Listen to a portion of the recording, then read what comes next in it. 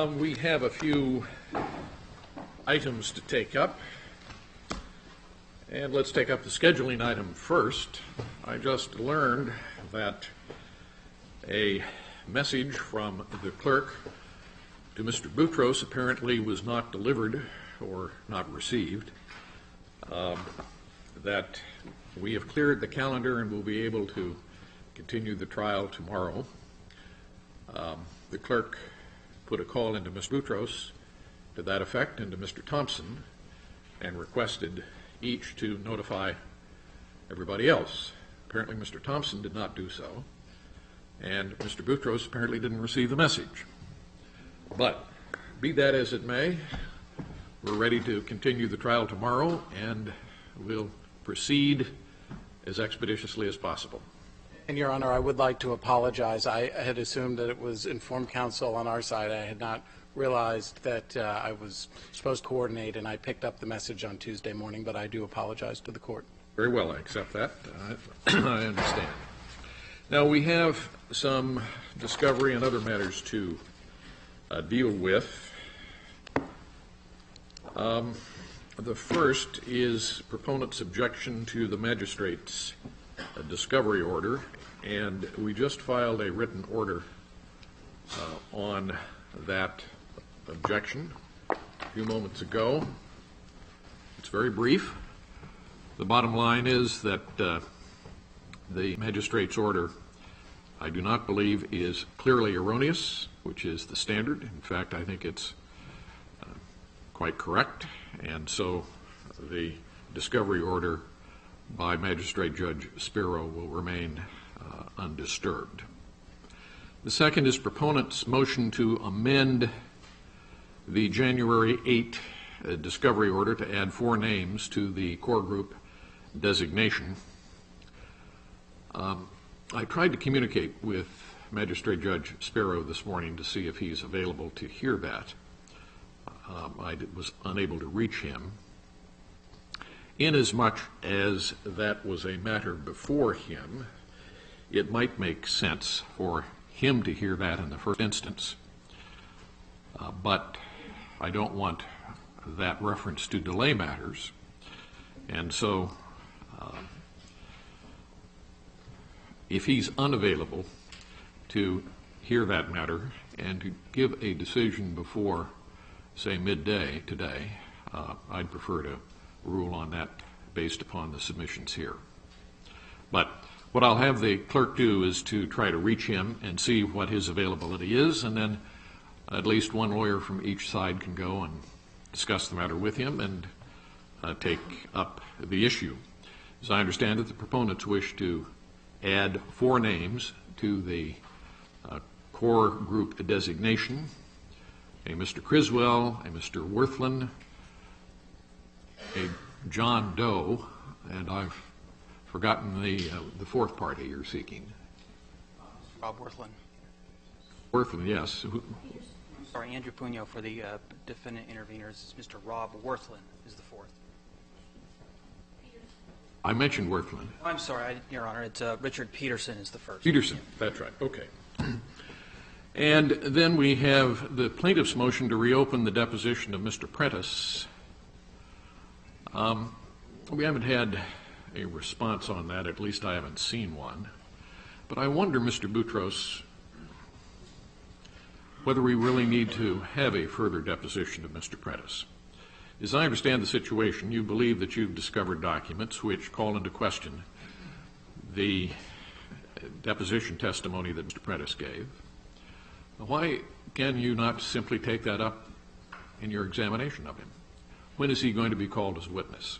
We have listed him, Your Honor, at, for, I think, um, th- for third, tomorrow or, or Friday. Um, and, and we, we thought it would, one, number one, streamline things if we were able to just walk through these documents with him. There, that is a fairly voluminous group of documents, which might either make it unnecessary for us to call him live if we're talking about authenticating documents, or at least would spare the court some uh, lengthy uh, walking through documents and asking them what they are and, and that sort of thing. And, and so I don't think it needs to be a really long deposition, but we thought for everyone, it would be better to just do, a- do a deposition, walk through the documents, and then streamline things in the court. And, and uh, we thought that would be a preferable way to approach it. Opponents have a view. Uh, Ms. Moss. Um, And I apologize for not having a copy with me, but we did just file our opposition this morning, and I'm trying to get one printed now. Um, Our position is we are opposed to reopening the deposition of Mr. Prentice. Uh, He was deposed for 14 hours, uh, both as the 30B6 and in his indi- individual capacity. Um, And we believe that they, their paper suggested they had 25 documents that they wanted to go over with him, and we believe that to the extent they think that there's inconsistencies with his testimony, they can explore that on the stand, and that it would be highly prejudicial to us to have to both sit through his deposition at the same time that it's the day before they're saying they're going to put him on the stand. We wouldn't have the ability to really prepare him for his testimony. So we would ask that it not be reopened, or at a minimum, that it be not the seven hours that they've requested, but at most an hour. Um, We would take two hours, Your Honor. And, and if I could just respond to the suggestion that it's the proponents who are sort of on the, getting the short end of the stick on the fairness equation, the proponents withheld these documents, refused to answer, let Mr. Prentice answer questions on things that were clearly within discovery, and Magistrate Spero, when he heard the arguments and ruled, found that that, it, that they were the relevance arguments were entirely frivolous and I think he said outrageous at one point because they were clearly documents and things that were within the, the realm of discovery in this court's order and the Ninth Circuit's order. So we have been proceeding with extreme diligence. We had teams reviewing these documents um, for the last week. Um, these documents should have been produced well before Mr. Prentice's deposition. So we think that we're, we're making a modest request for a short deposition, which will benefit everyone, and including helping streamline the proceedings. I'm inclined to agree with Ms. Moss. Um, I have not forgotten what it's like to try cases and take depositions at the same time. That's uh, difficult under any circumstances, and it seems to me you'll be able to cross-examine or to examine Mr. Prentice. Uh, And if there are, in fact, inconsistencies between his deposition testimony and the evidence that's now been produced, you'll be able to explore that, and it will be, uh, can be done just as effectively here at trial as with a further deposition. It may take a little more time with the authentic, authentication of documents, but we're in trial, so uh, let's proceed. And then, I believe the only other matter is the proponent's objection to the next witness. Actually, Your Honor, uh, before you get to that, there's something in the nature of loose ends. Oh, all right, uh, let's, uh, let's tidy tidy up those loose ends. Yesterday, I did uh, maintain a provisional objection to a couple of the documents. Uh, As you may recall, that Mr. Boies uh, introduced into evidence, it was PX 0188 and PX 0189. Uh, Since uh, uh, time of that provisional objection, my my friends uh, for the plaintiffs have provided the uh, confirmation that those were indeed provided to us. Very well. All right, thank you very much, Ms. Cooper. Um, Then I believe the only other remaining matter is the um, uh, issue of the Ryan Kendall testimony. Yes, And Your you Honor. are Uh, Mr. James Campbell for the defendant Campbell. interveners. Um, took the deposition. That is correct, Your Honor. Um, Just, I- as I understand, Your Honor's familiar with, with the deposition. but read the just deposition. As a brief, uh, you know, background, Mr. Kendall is a man from Colorado whose parents forced him uh, against his will to to attend some type of um, sexual orientation conversion therapy, and that is the nature of his testimony in this case. We believe that there are at least four reasons why his testimony should be excluded uh, from, from this case. Uh, First of all, Mr. Kendall's testimony i- is irrelevant. Um, He can only testify about his limited experience, which deals with involuntary forced conversion therapy. And it is our position, Your Honor, that that is wholly irrelevant to this court's analysis. Um, secondly, to the extent that this issue is at all relevant, it is the proper subject of expert testimony, not lay testimony. Uh, simply put, one man's anecdotal account of his experience with a particular type of conversion therapy uh, is irrelevant to this court's analysis. It, it's no more relevant than if the defendant interveners uh, found uh, some individual and asked them to uh, elicit testimony about a positive experience they had with this type of testimony. So we would just urge the court that uh, this is the proper um, subject of expert testimony if it is at all relevant. Um, and further to that point, Your Honor, um, the plaintiff and plaintiff interveners have already identified an expert, Dr. Herek, who in his expert report has already opined on the issue of conversion therapy. So if it's relevant, he can discuss it. And finally, Your Honor, I think uh, this perhaps is one of the more, more important points.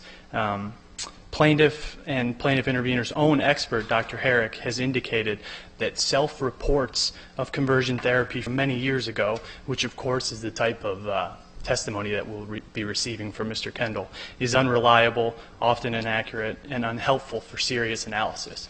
And what I'm referring to specifically, Your Honor, is uh, Plaintiff's Exhibit 2563, which I have some copies of.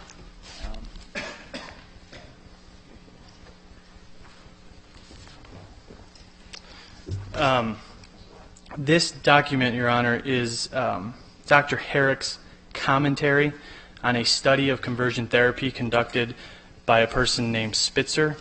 And if I could direct the court's, um, specifically, Dr. Herek says, um, makes some comments here about self-reporting of conversion therapy, and I think that they're particularly enlightening um, in this in this context. What he says on page 438 of this document, uh, and it's the last paragraph on that page, just the first couple sentences. Uh, I quote, even if Spitzer's respondents sincerely tried to give true accounts of their feelings and daily behavior from, on average, 12 years prior to the interview, their reports cannot be assumed to be reliable. People often are inaccurate when recalling earlier mental states, especially when their emotions, goals, or beliefs have changed in the interim. And he goes on further, Your Honor. So uh, I guess our, our position on that point is their own expert recognizes that this, this type of um, self-reporting isn't helpful for uh, serious analysis. Let me ask you, Mr. Campbell, isn't this an issue that the proponents themselves have raised and have opened in the case? I I don't believe that we've, we've raised the issue of, of forced conversion therapy, Your Honor. Well, I'm looking at your trial brief, and you say the evidence at trial will show that many people freely choose their sexual orientation. Goes on, the evidence will further demonstrate that however it is defined, sexual orientation can shift over time and does so for a significant number of people. And the proposed findings that the proponents have submitted include such items as no aspect of sexual orientation has been shown to be immutable. An individual's sexual orientation can change over the course of a lifetime. Research shows that many individuals' sexual orientation does change over the course of a lifetime. Women's sexual orientation tends to be particularly fluid, malleable, shaped by life experiences, and capable of change over time. And for many people, adopting a particular so- sexual orientation is a conscious choice. So these are findings that you yourself have put in, And or that's, that's your correct. colleagues. And so it seems to me you have raised the very issue to which this witness is going to testify. I, I think the critical distinction, Your Honor, is that we, we don't ever mention any type of forced or um, structured therapy that would bring about these changes. Our, our position in this case and our position in those, in those factual findings are that these changes do occur. Um, whether or not they occur through uh, some type of structured therapy is not an issue that's relevant. Um, the, the, the bottom line is that the change occurs, and that is what's relevant to um, determining whether a, a suspect classification applies here. What evidence are you going to present on this? Um, well, uh, Are you going to extensive. present evidence that people have successfully changed their sexual orientation?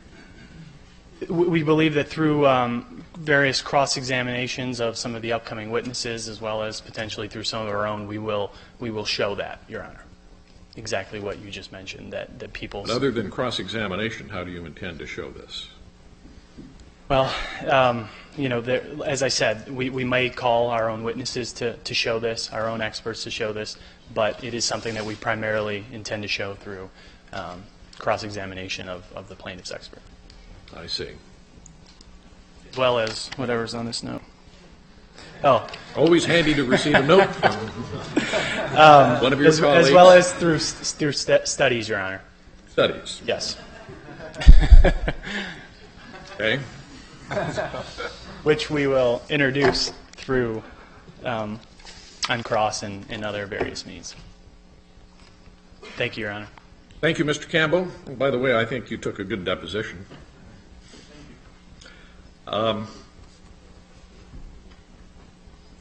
Well, it does seem to me that this is an issue that the proponents themselves have uh, raised in the case, uh, the fluidity of sexual orientation. It's true that this is an issue which largely depends upon uh, expert testimony. But as with so many aspects of testimony in a trial and evidence in a trial, actual firsthand experience to illustrate points that have been raised uh, are, is very helpful. And, well, you're not the only one, Mr. Campbell, to receive notes. uh, is very helpful, and I think the testimony of Mr. Uh, Kendall on this issue can be evaluated by the court and weighed uh, in relation to the expert testimony and all the other evidence that's going to be presented. And so I'm disinclined to exclude uh, his testimony. He has, after all, been deposed. Mr. Campbell has had a chance to uh, explore uh, this uh, gentleman's testimony and to uh, prepare himself. And so I think it's not unfair to the proponents having raised this issue for Mr. Kendall to testify, and therefore the motion to exclude him will be denied. Now, uh, the note I just been handed is that Magistrate Judge Spero can hear the core group issue right now. So if you would designate um, one of your number to hightail it to Magistrate Judge Spero, he can uh, hear the matter and, and render a decision. Very well, very well, Your Honor. Uh, Mr. Pugno will, is taking the lead for, for our side on, Good, on thank these, you. these subject matters. And I'm sending Mr. McGill in for that one. All right.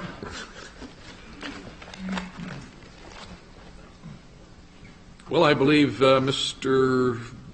Boutrous, you're calling the next witness, are you? Or, Uh, Your Honor, I'm going to have Mr. Boies explain. We're going to first play some video clips of depositions as a prelude to today's testimony from our witnesses. Mr. Boies, would you like? all right, Mr. Boies? Your Honor, we're going to uh, play um, deposition designations from uh, Dr. uh, Paul. uh, Nathan. Uh, and we will follow that.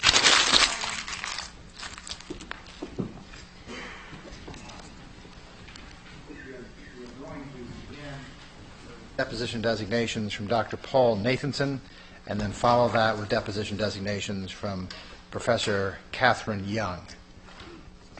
Uh, Both of these um, individuals were um, designated experts um, uh, from the defendants, uh, but their, uh, the defendants have withdrawn them. Not going to be calling them live.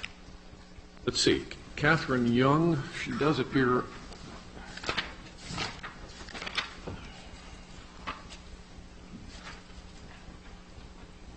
Yes, to have been designated by the defendants, and the other one is Mr. Nathanson? Yes, Paul Nathanson, Dr. Paul Nathanson. All right, Thank you, Your Honor. Your Honor, before we, excuse me, get underway on that, I do want to uh, uh, recall the, as- to the court's attention, the uh, uh, discussion about this that uh, happened a f- a few trial days ago uh, with Mr. Thompson, these witnesses were uh, withdrawn at their insistence, and uh, and I understand that Mr. Boies is going to, uh, going to submit these to the court um, uh, under, uh, under judicial notice, an offer of judicial notice. And we, we are fine with that, or we, we we will not object to that, although we do believe that under those circumstances, it would be necessary for us to be allowed to uh, also submit to the court the expert witness reports that provide the basis for these uh, deposition questions and these designations, and also, also to offer to the court uh, counter designations as soon as we are able to uh, determine what they're putting on and, and can identify counter designations from the deposition if the court please. Your Honor, uh, we gave them these designations a week ago. Uh, In fact, we told them we might play them last Thursday or Friday, depending on the timing. Um, So they, they've had the deposition designations. Um, uh, These are clearly admissible under 32, um, uh, uh, it's it's subsection fo- 4, Been A- remembered. A24, I think, A24, Remembered. 32 A24, I think it is, Um, uh, where a dep- a uh, a witness is uh, more than 100 miles away, and we did not procure hi- the witness's absence. A- And I think they would also be admissible under uh, judicial notice, but I think they're they're admissible as evidence under um, 32, uh,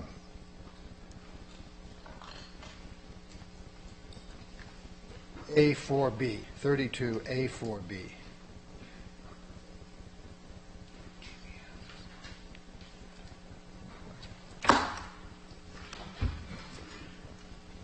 Well, let's see, where are these uh, folks located? Uh, Montreal, Canada, Mont- Both of them? both of them.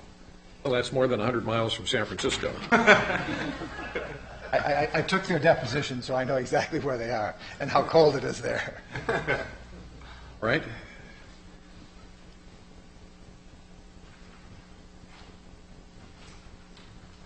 Well, there are probably multiple grounds upon which uh, the testimony is admissible.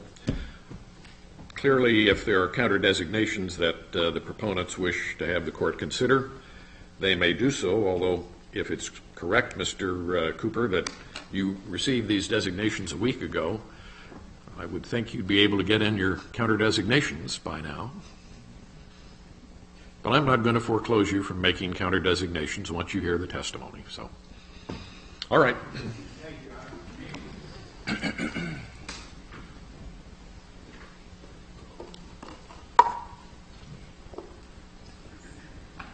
Do you know uh, what position um, the American Anthropological, Anthropological Association uh, takes, if any, uh, with respect to the issue of gay marriage? They support it.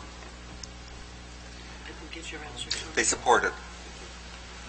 Um, do you know uh, what the position, if any, of the American Psychoanalytical Analytic Association is with respect to gay marriage? They support it. Do you know what the position of the American Psychological Association is, if any, with respect to gay marriage? They support it.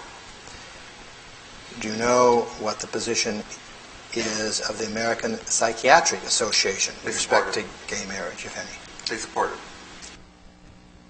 Are you familiar with the American Academy of Pediatrics? No. No, I'm sorry. I am.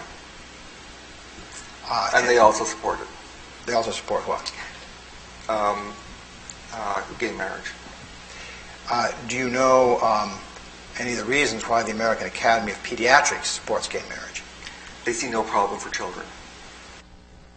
Now, um, using opinion in the sense that you do as a researcher, do you have an opinion as to whether permitting gay people to marry increases the stability and commitment of their relationship? It increases. in- it increases the stability and commitment of their relationship. That's right. Um, uh, As a researcher, using the term opinion the way you've defined it, um, do you have an opinion as to whether permitting gay people to marry increases their happiness and sense of security and well-being? Objection, this is beyond the scope of this expert report. I think it does. Well, let's, let's try to break that down in- into two parts.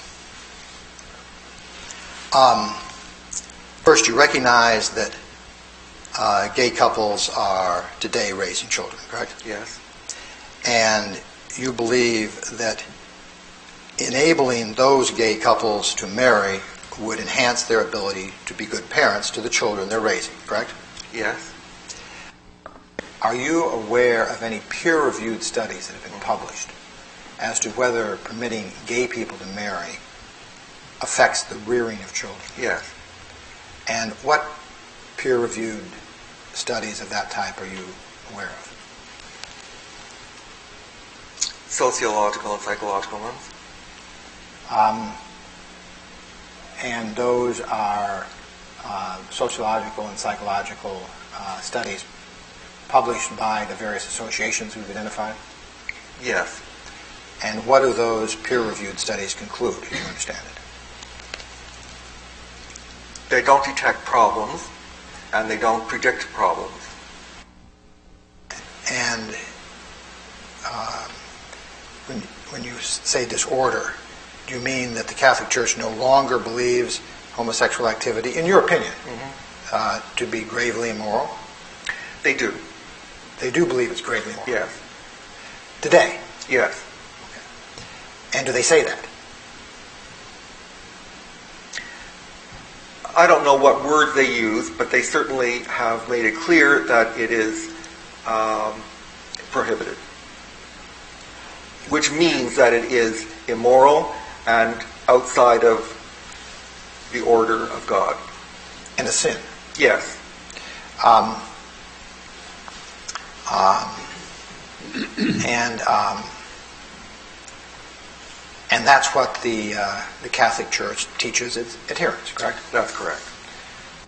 Let me start with the biggest Protestant church in the United States, uh, and that and that you described as what? Southern Baptist Convention. Um, and um, uh, how does the Southern Bast- Baptist Convention describe homosexual behavior? Sinful.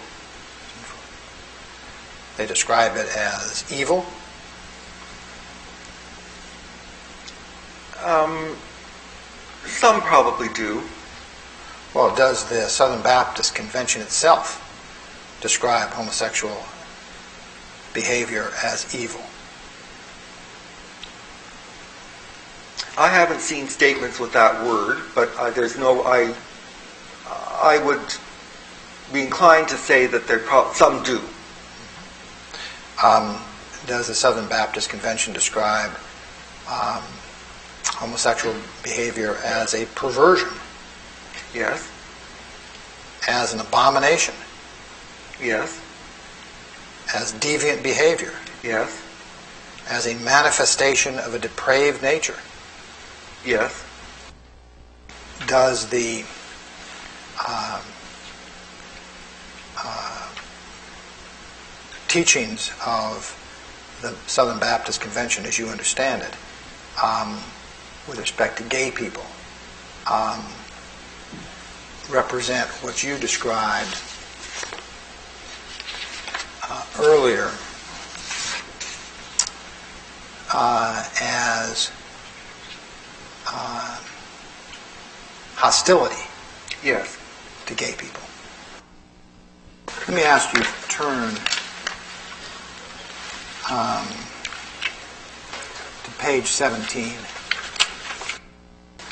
And um,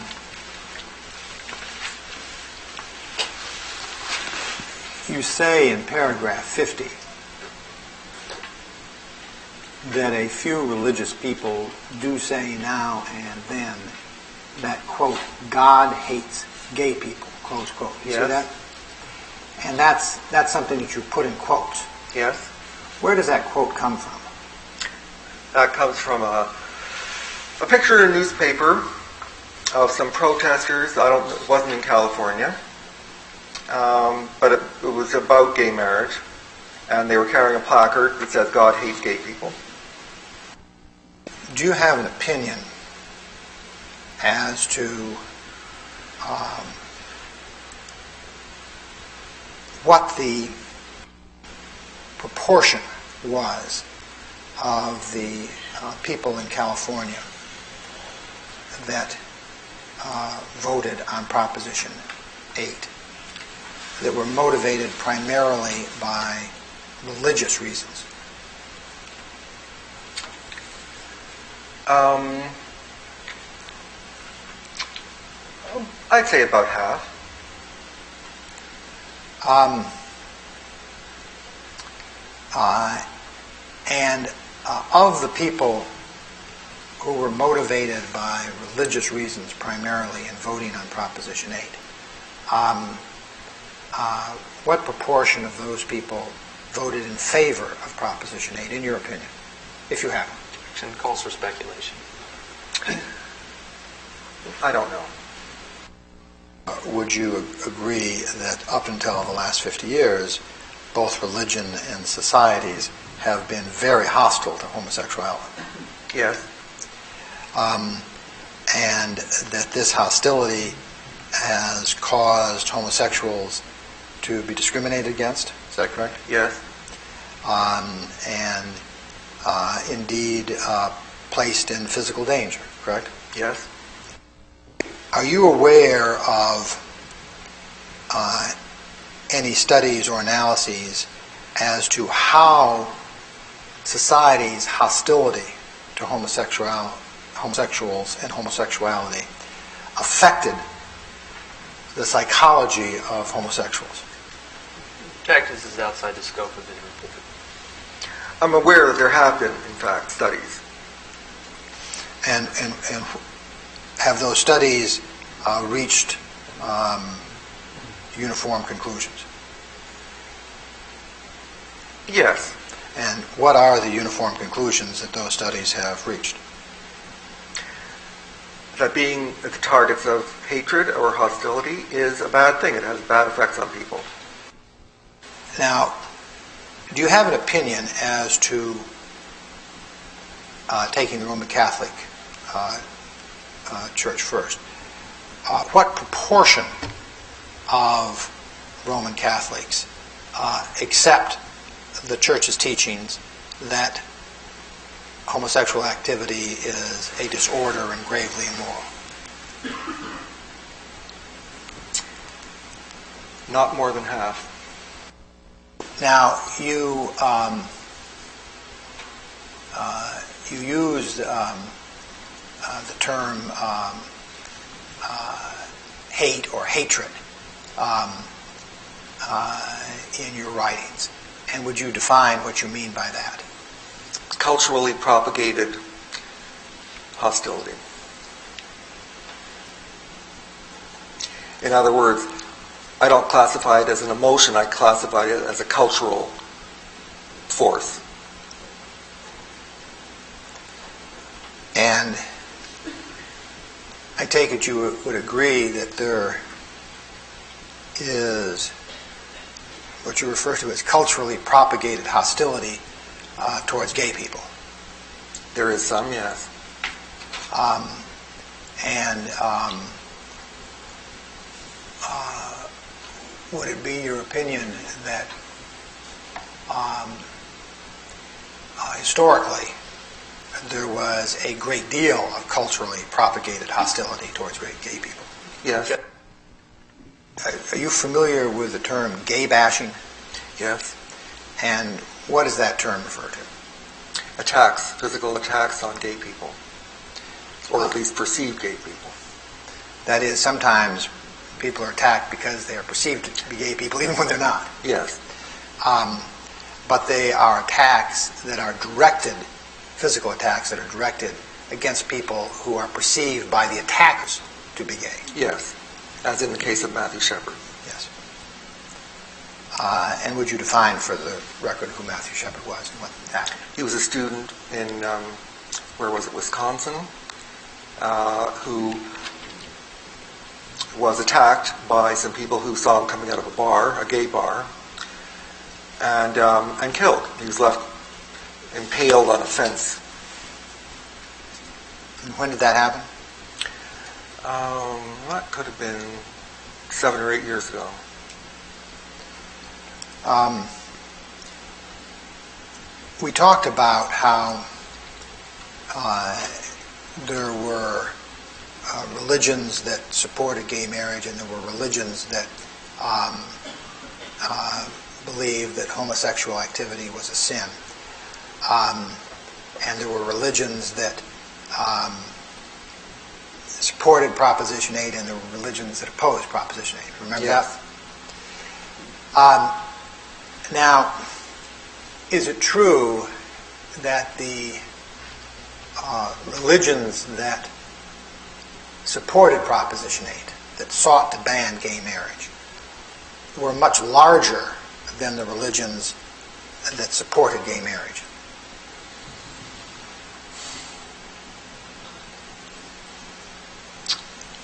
Yes. and the uh, religions that uh, supported Proposition 8 and opposed um, gay marriage um, contributed many more volunteers um, to the campaign effort than the religions that supported gay marriage and opposed Proposition 8, correct? Yes. Let me ask you um, uh, a question about the hostility and to uh, gay people and, and what we refer to as gay bashing. Um, do you believe that the teaching of certain religions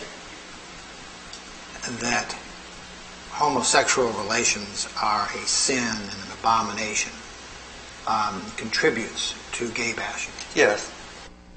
Is it your opinion that the primary cause of the culturally propagated hostility uh, is religious teachings?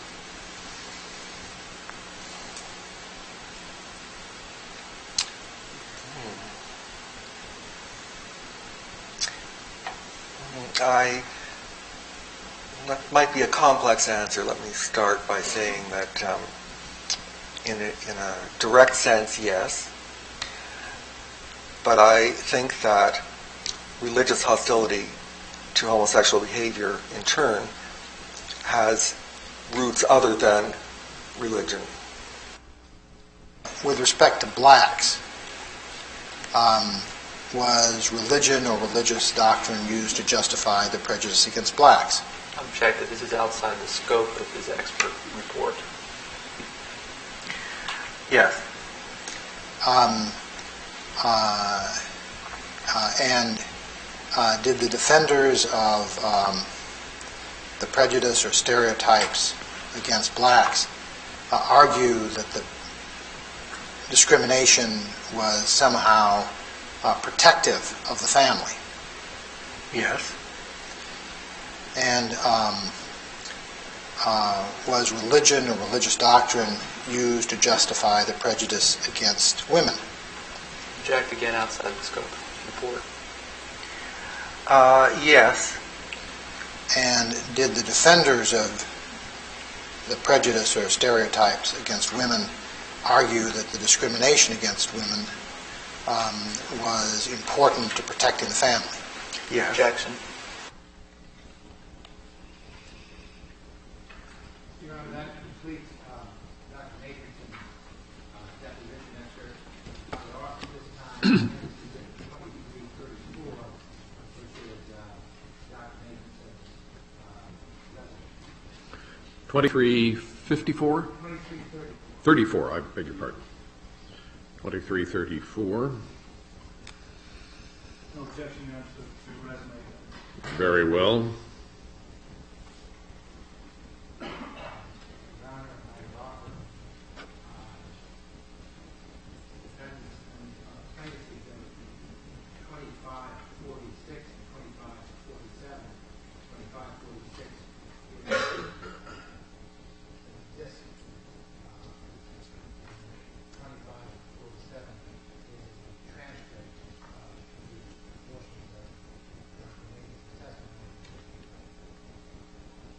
Well, and 40, 2546 is the CD of the testimony that we've just heard, correct? Copy for the court. 2546 is the CD or the disc of the testimony that we've just heard? That's correct, All right.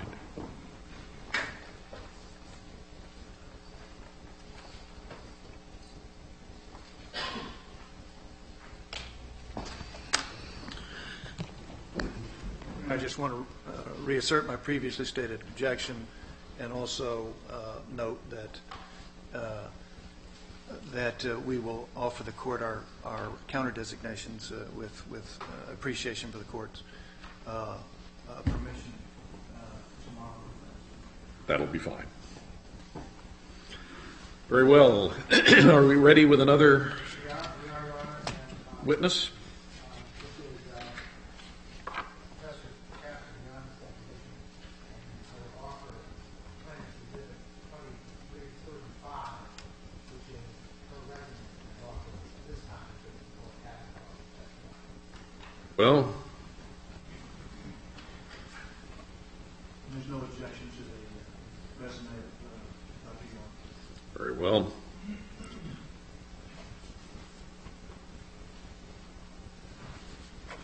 This is the resume. Is Plaintiff's Exhibit 2335. We also have this Testimony, which is plaintiff's exhibit 2544. 2544? 2544, which is this Testimony. Well, and um, Exhibit 2545, Transcript of the testimony. right.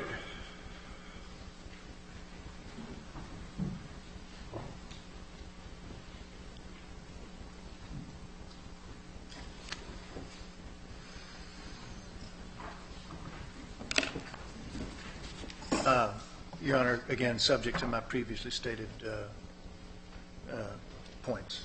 That'll be fine, uh, Mr. Cooper.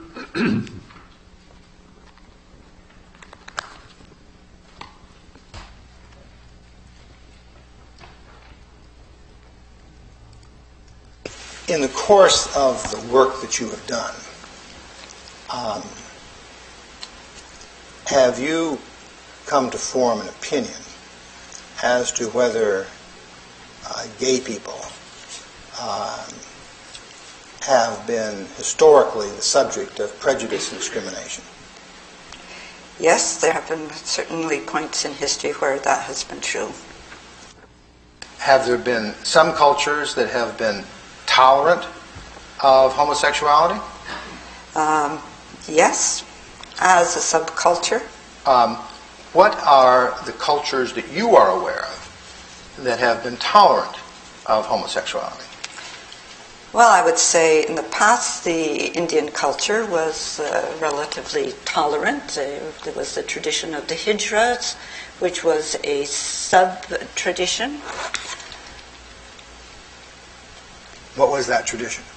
The hijras.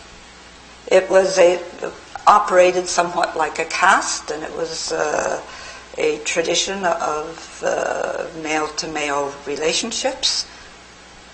Sometimes with a ritual that it was even akin to, to marriage, but they, it was a, it was never the norm for the society as a whole. It was a, a sub tradition that had a certain amount of uh, recognition to it. I'm not really that familiar with India, so this may be a very obvious question. But um, are the Hijra located in any particular part of India? No, they're found in several different places Uh, throughout India? throughout India. Okay. Um, and um, uh, how long have the Hijra existed? I'm not sure where we where we could begin to date them. It is a community today. Um, is it a community that has existed at least for centuries? I would suspect for at least a few centuries. Let me ask a simple Yeah. question. based on everything that you know about the Hijra, Yeah, how long have they existed? I would say a couple of centuries. Uh, For a textual documentation of this. Would you give me some examples of other exceptions from other cultures?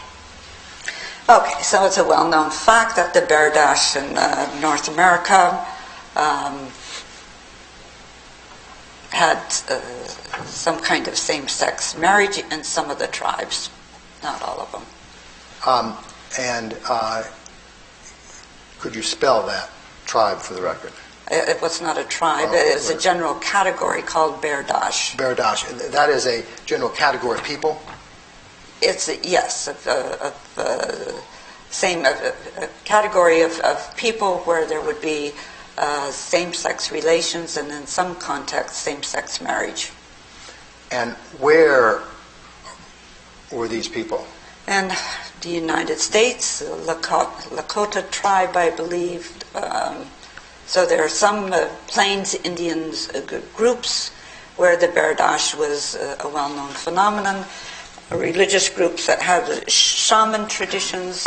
Uh, the shaman traditions were often Berdache. And uh,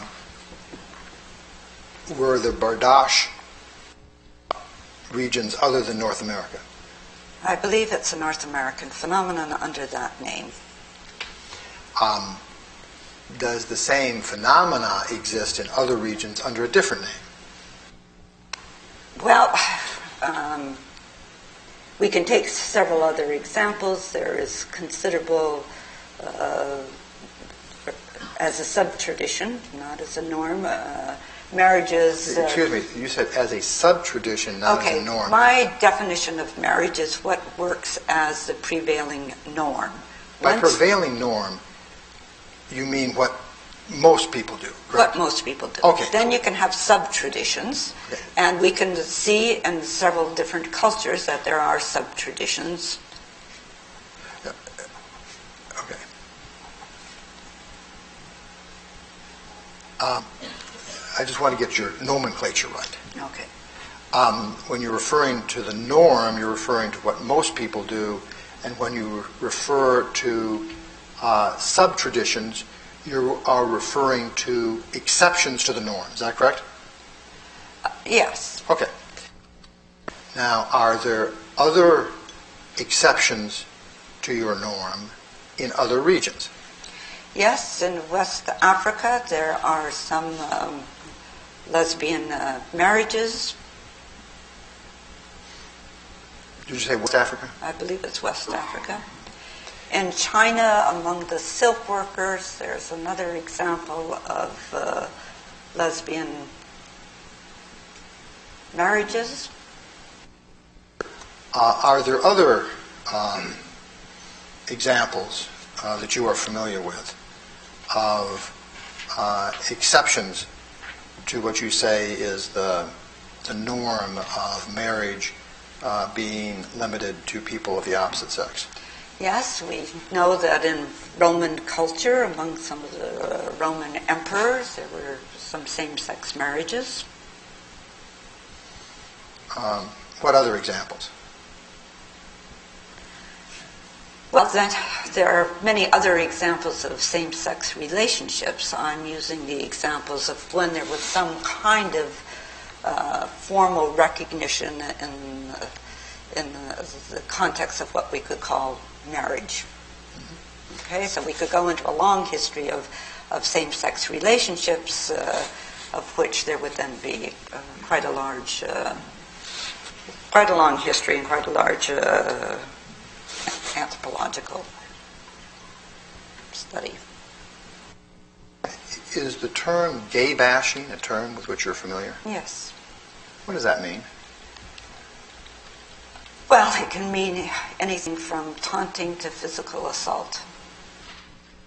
Do you have an opinion as to whether the bigotry and prejudice against gays and lesbians in the United States was in substantial part based on religious beliefs? There was a religious component to it, yes.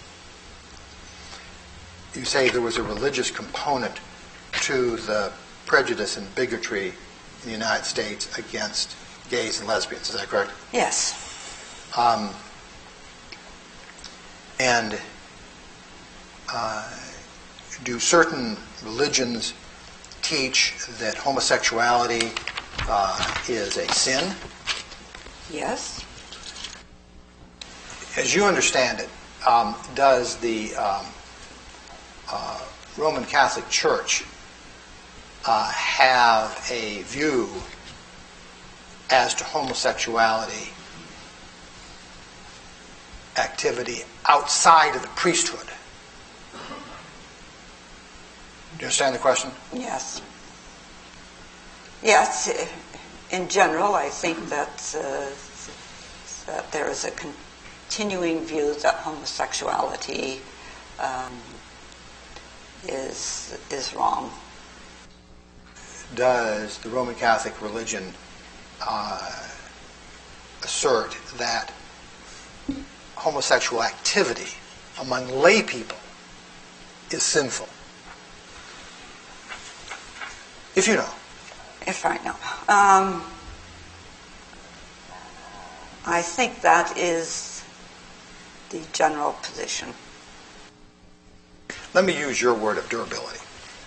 Um, uh, do you believe that uh, children are advantaged by increasing the durability of the relationship of the couple raising them? Yes. And do you believe that the durability of the relationship of a gay couple is enhanced by permitting the gay couple to marry? On that variable, yes. And you believe that allowing gay couples to marry will increase the durability of those gay couples' relationships, correct? Okay, I'd say yes. Okay. And increasing the durability of those relationships is beneficial to the children that they're raising, correct? On that one uh, factor, yes. Okay. And is it the case that the uh, number of children being raised um, in families that you describe as the norm was decreasing significantly before there was any gay marriage in the United States? Uh, it was decreasing. Is it the case that love and commitment are the reasons that most people give for wanting to marry? Today, probably yes. Um, uh, indeed, you have seen studies that indicate that, correct? Yes. And you have not seen any studies that indicate the contrary, correct? Correct. Um, and do you believe that love and commitment are reasons that both gay people and heterosexuals have for wanting to marry? Correct. And uh, arranged marriages um are declining uh, in proportion uh, and have been declining in proportion for quite a number In of years. In proportion to what? Non-arranged marriages. What you refer to as love marriages or Yeah. choice marriages. Arranged marriages uh, have declined. It depends on the country, Islamic world, India, and so forth. So arranged marriages have declined a bit, but they certainly have not been overtaken by so-called love marriages. But they have declined, even in the places where they predominate, correct? They have declined. Um, and where arranged marriages have declined, have you seen an increase in divorce rates? Yes. Um, um, have you also found that um, divorce rates um, are correlated with female literacy?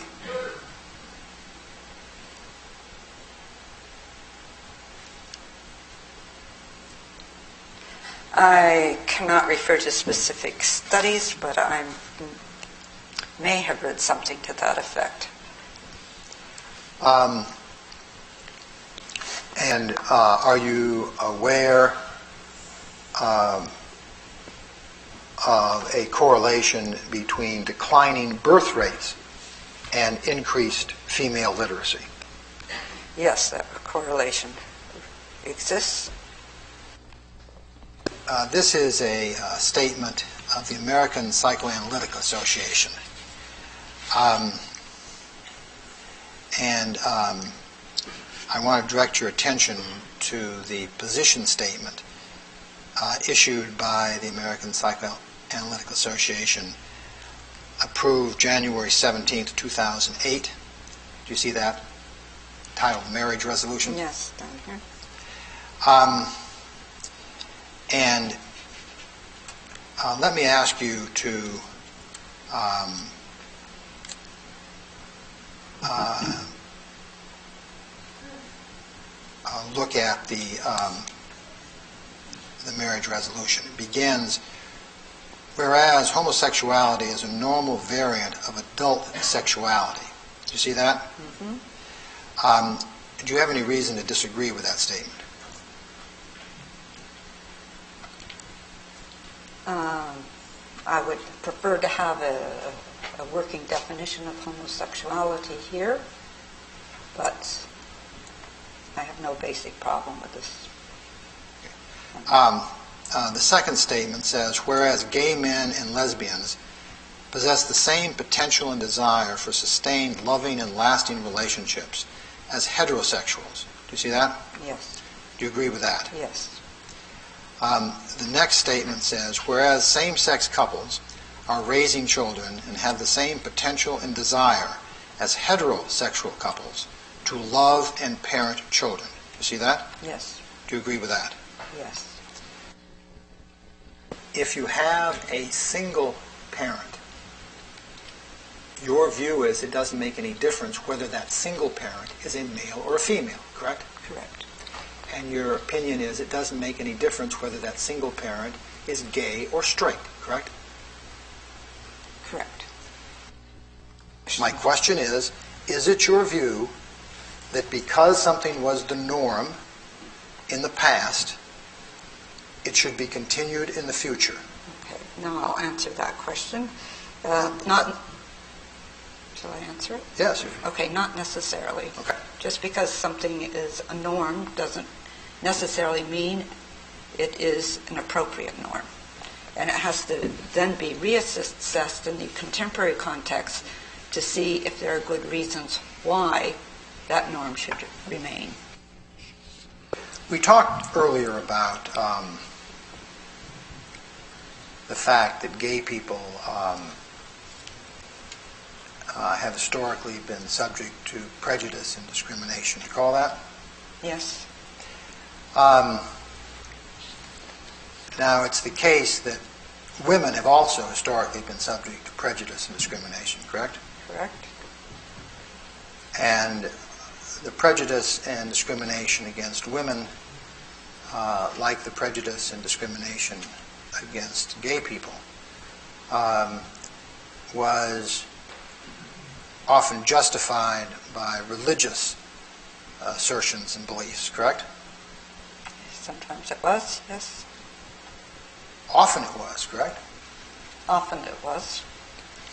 Um, and the discrimination uh, and prejudice against women was also often justified by the argument that it promoted or predicted or protected the traditional family, correct? Yes. And various racial groups, including blacks, have historically been subject to prejudice and discrimination, correct? Correct. And that prejudice and discrimination, again, like the prejudice and discrimination against gays and lesbians, was often justified by religion, correct? Correct. And do you have a view as to whether states today law continues to be based on religion. No, because you have the doctrine of the separation of church and state. That completes the uh, deposition of uh, Professor Young. Our next witness is Ryan Kendall. Very well. I don't believe I was handed the uh, disc of uh, Professor Young's testimony, but I gather the clerk has it. All right. Then it's 2544. All right, why don't we take a very brief uh, break at this time while you bring Mr. uh, uh, Kendall forward, and then we'll resume in 10 minutes.